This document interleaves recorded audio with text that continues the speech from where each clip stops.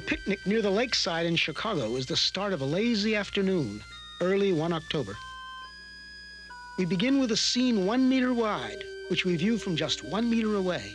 Now, every 10 seconds, we will look from 10 times farther away, and our field of view will be 10 times wider. This square is 10 meters wide, and in 10 seconds, the next square will be 10 times as wide. Our picture will center on the picnickers, even after they've been lost to sight.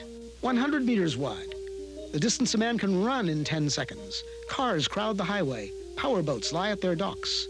The colorful bleachers are Soldiers Field. This square is a kilometer wide, 1,000 meters. The distance a racing car can travel in 10 seconds. We see the great city on the lake shore. 10 to the fourth meters, 10 kilometers. The distance a supersonic airplane can travel in 10 seconds. We see first the rounded end of Lake Michigan, then the whole Great Lake. 10 to the fifth meters, the distance an orbiting satellite covers in 10 seconds. Long parades of clouds, the day's weather in the Middle West. 10 to the sixth, a one with six zeros, a million meters. Soon the Earth will show as a solid sphere. We are able to see the whole Earth now, just over a minute along the journey. The Earth diminishes into the distance, but those background stars are so much farther away that they do not yet appear to move. A line extends at the true speed of light. In one second, it half crosses the tilted orbit of the moon.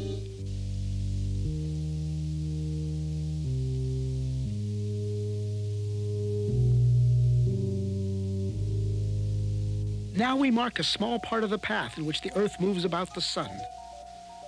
Now the orbital paths of the neighbor planets, Venus and Mars, then Mercury. Entering our field of view is the glowing center of our solar system, the Sun.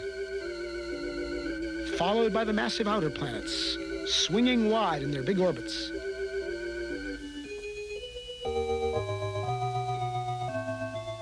That odd orbit belongs to Pluto.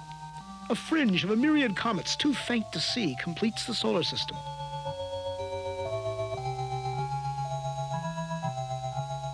Ten to the 14th. As the solar system shrinks to one bright point in the distance, our sun is plainly now only one among the stars.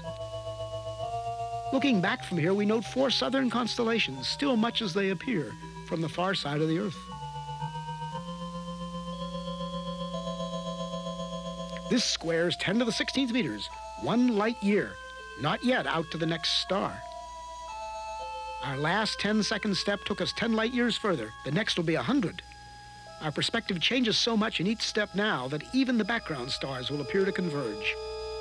At last, we pass the bright star Arcturus and some stars of the Dipper.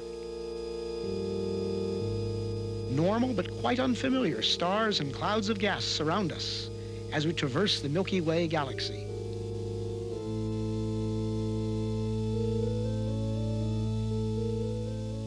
Giant steps carry us into the outskirts of the galaxy. And as we pull away, we begin to see the great flat spiral facing us. The time and path we chose to leave Chicago has brought us out of the galaxy along a course nearly perpendicular to its disk.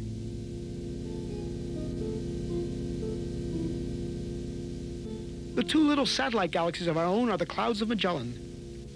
10 to the 22nd power, a million light years. Groups of galaxies bring a new level of structure to the scene glowing points are no longer single stars, but whole galaxies of stars seen as one. We pass the big Virgo cluster of galaxies among many others, a hundred million light years out. As we approach the limit of our vision, we pause to start back home. This lonely scene, the galaxies like dust, is what most of space looks like. This emptiness is normal. The richness of our own neighborhood is the exception. The trip back to the picnic on the lakefront will be a sped-up version, reducing the distance to the Earth's surface by one power of 10 every two seconds. In each two seconds, we'll appear to cover 90% of the remaining distance back to Earth. Notice the alternation between great activity and relative inactivity, a rhythm that will continue all the way into our next goal, a proton in the nucleus of a carbon atom beneath the skin on the hand of the sleeping man at the picnic.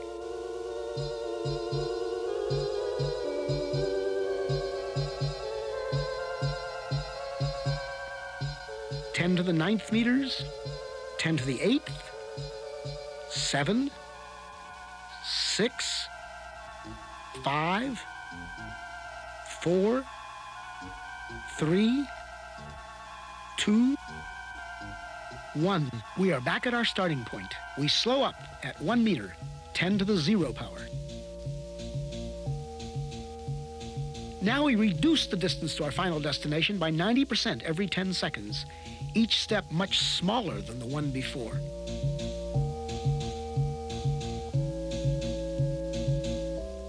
At 10 to the minus 2, 1 one hundredth of a meter, 1 centimeter, we approach the surface of the hand.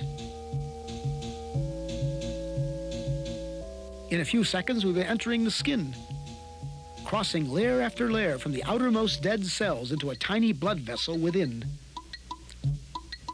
Skin layers vanish in turn. An outer layer of cells, felty collagen. The capillary containing red blood cells and a roughly lymphocyte. We enter the white cell. Among its vital organelles, the porous wall of the cell nucleus appears. The nucleus within holds the heredity of the man in the coiled coils of DNA. As we close in, we come to the double helix itself, a molecule like a long twisted ladder whose rungs of paired bases spell out twice, in an alphabet of four letters, the words of the powerful genetic message. At the atomic scale, the interplay of form and motion becomes more visible we focus on one commonplace group of three hydrogen atoms bonded by electrical forces to a carbon atom. Four electrons make up the outer shell of the carbon itself. They appear in quantum motion as a swarm of shimmering points. At 10 to the minus 10 meters, one angstrom, we find ourselves right among those outer electrons. Now we come upon the two inner electrons held in a tighter swarm. As we draw toward the atom's attracting center, we enter upon a vast inner space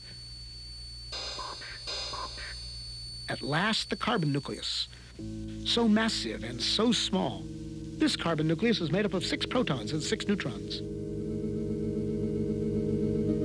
We are in the domain of universal modules. There are protons and neutrons in every nucleus, electrons in every atom, atoms bonded into every molecule out to the farthest galaxy.